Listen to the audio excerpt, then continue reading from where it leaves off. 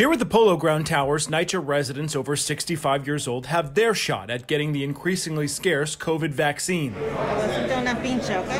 Henry Coxel just beat the virus last month, so he was one of the first to get vaccinated this morning. The 78 year old hopes his neighbors set aside skepticism and get it too. But most people, they, they got so much foolishness going on.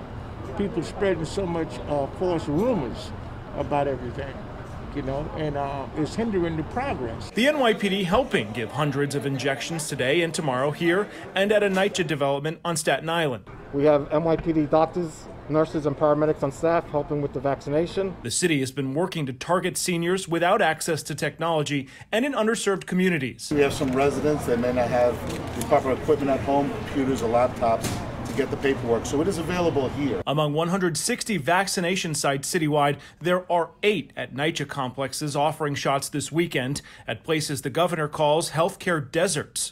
We practically need this. You know, there's too many people dying every day. As supplies could run out next week, public housing advocates are demanding a better plan. The plan should have been how do we hit those communities that were hardest hit? Now we've um, we only have about 100,000 remaining.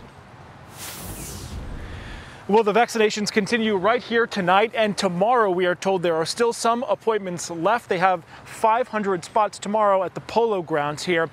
Right now, there are 7 million New Yorkers that are eligible to be vaccinated, but at the rate that they are handing out these doses and the supply that they are getting from the government, the city says they should run out by next Thursday. We're live in Washington Heights. I'm Anthony DiLorenzo, Pix 11 News.